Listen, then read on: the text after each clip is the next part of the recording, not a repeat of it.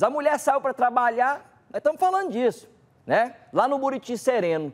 Quando chegou em casa, olha lá, ó, ele vai passar? Ah, de bicicleta, com o buchinho cheio, é o ladrão do buchão. O ladrão do buchão, que encheu o buchão de refrigerante, ele fez o limpa lá na casa lá e ainda tomou refri, Fred. É folga demais, né?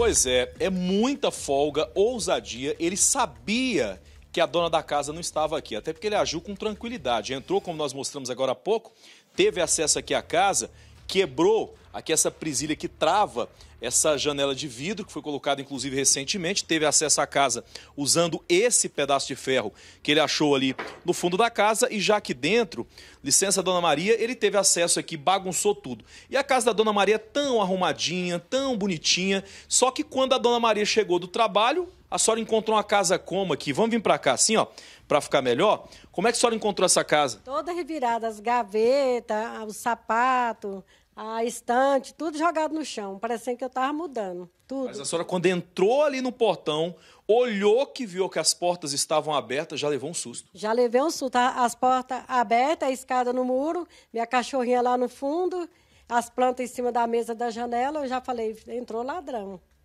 E aí a senhora estava até conversando comigo agora no intervalo, dizendo assim que o que a senhora quer agora é que é, a polícia olhe um pouco mais para cá, que traga mais segurança, porque a senhora está com medo dele voltar aqui, né? Sim, muito com medo, né, de voltar, porque já viu que eu tenho, roubou tudo que tinha, mas já viu que eu tenho. Aí eu tenho medo de voltar e ter fazer o mal para a gente mesmo, né? Olha, Branquinho, inclusive a gente vai entrar aqui, pode, pode vir aqui, Dona Maria, para a gente mostrar. Essa aqui é a sala da Dona Maria. Dona Maria, eu não vou pisar ali não, que eu tô de sapato, seu tapete tá tão limpinho, mas eu vou mostrar. Aquela televisão lá foi uma TV emprestada, que ela já arrumou, porque levou, o bandido levou até. Eu vou tirar o sapato, aí fica melhor, né? Eu vou, né, eu vou tirar aqui que fica melhorzinho. Pronto, deixa o sapato aí. Não mostra mesmo, não, meu filho, tá furada. Dona Maria, essa televisão já é uma TV emprestada que a senhora conseguiu, porque ele levou sua TV.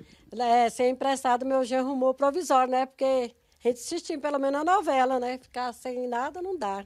Agora a senhora me contou que já mora muito tempo aqui. Foi a primeira vez que isso aconteceu. Primeira e vez. todos os vizinhos, inclusive, se assustaram com isso, porque aqui é um bairro até tranquilo onde a senhora mora. Sim, a primeira vez que entrou na minha casa foi agora. Os vizinhos veio aqui e viu tudo virar também. E no dia nem dormiu à noite? Não, não consegui dormir não. Tranquei a porta do meu quarto e fiquei acordada.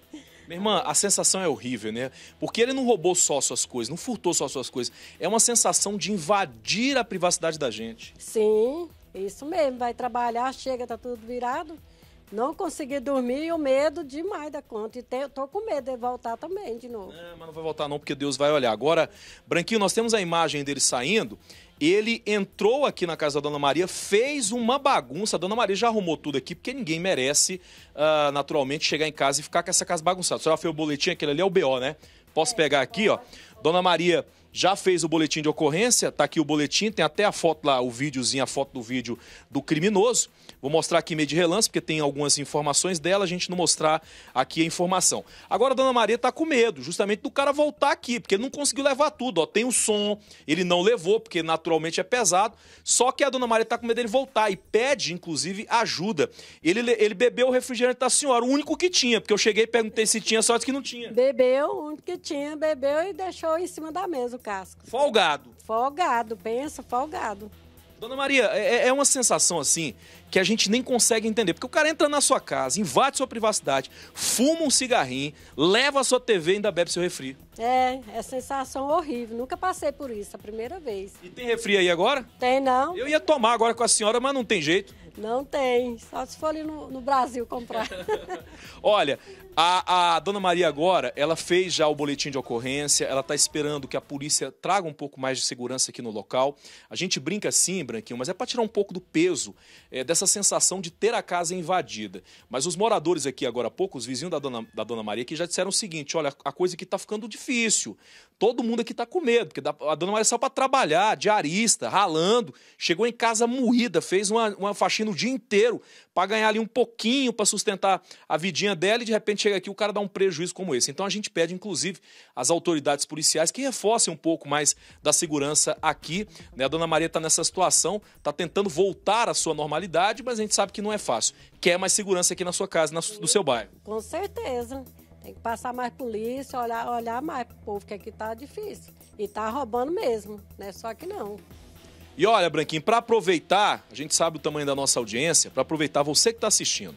Se alguém te oferecer uma TV de 32 polegadas, fininha, Dona Maria comprou recentemente televisão nova, ligue para a polícia, porque não tem documento não. O documento dessa TV pode estar tá aqui na casa da Dona Maria. Então, você também pode contribuir, né, Branquinho? É isso mesmo, Fred Silveira. Dê um abraço na Dona Maria aí. Tá dado o recado, né? Inclusive, essa TV aí vai aparecer em alguma biqueira. Com certeza, o ladrão do buchão vai levar lá. Valeu, Fred Silveira. Obrigado pela participação aqui no Cidade Alerta.